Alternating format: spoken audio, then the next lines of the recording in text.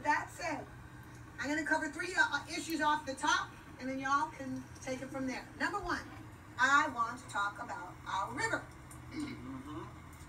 Um, and I want to I want to get I'm going to explain why I think this is a problem the way the Democrats talk about it. It's a problem because we are by nature cerebral and intellectual.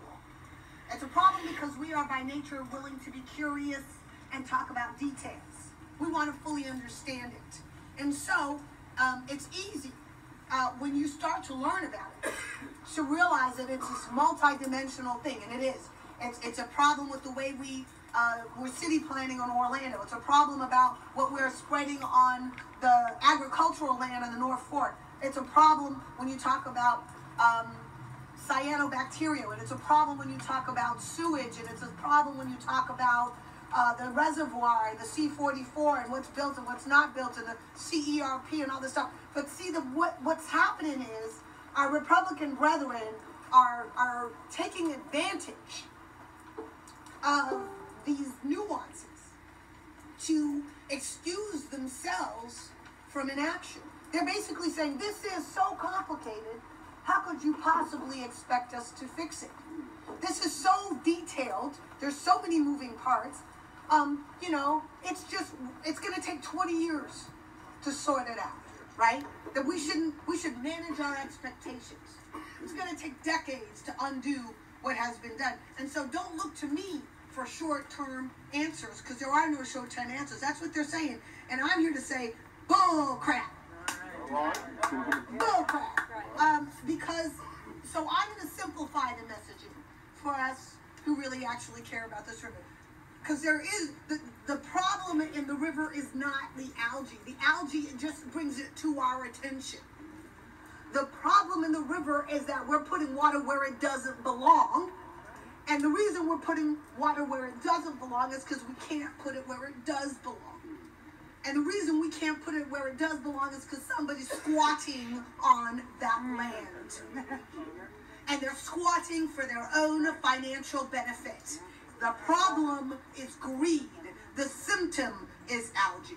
The problem is greed. The symptom is a destroyed ecology. The problem is greed. The symptom is bio waste on our land. But the problem is and has always been greed. That is the problem. There is only one solution to this problem, which is take that land. That is my messaging from here on out. We've got to take that land. We've negotiated. We've discussed. We've referendized that's not a word, but you know what I mean. We've taxed ourselves, right? We've been patient. And I think it's time to stop playing the okey doke. Let me break it down for you this way. The White House is in Republican control. The Senate is in Republican control. The Congress is in Republican control. The, the gubernatorial house is in Republican control. And the state house is in Republican control. If ever there was a time where the T- A team was in full control to fix this problem, it is right now. And if they're looking under the table and around the corner and down the block for a solution, it is because they don't want to look in the mirror. They have the power right now to take that land and fix this problem. They have not done it, and they will not do it because it's their BFF who's getting that money. That's why. If they wanted to take the land, they could. They don't want to. And so what they do is they send out people like Brian Mast parading around with a mason jar of green water. Dude, I know what color the water is.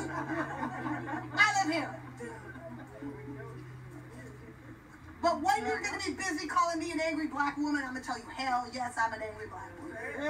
Hell yes, I am. And here's an angry white man, and here's an angry young gentleman, and here's an angry white woman, and we are all angry. And guess what, Brian? We mad at you.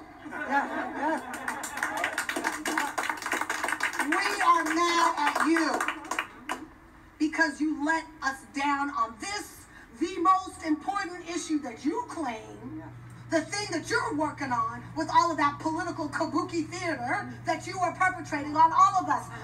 We know who controls the purse strings of the federal government. Your team. We know Who controls the purse strings of the state of Florida? Your team. So stop looking at everybody but you. The problem is you.